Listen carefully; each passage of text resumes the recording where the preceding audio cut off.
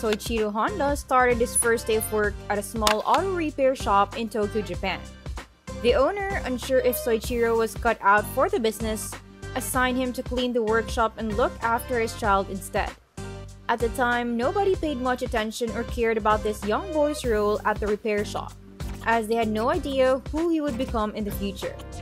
Fast forward a few decades, and Soichiro Honda was now competing with some of the biggest car brands in the world, while also owning the largest motorcycle manufacturing company. Initially, the Honda Accord was introduced as a compact hatchback, but later expanded to include sedans. This new model shared the same fuel-efficient features as the Civic, but offered a better moderate size and wider interior space for increased comfort. Soichiro Honda retired from the company in 1973, and passed away on August 5, 1991.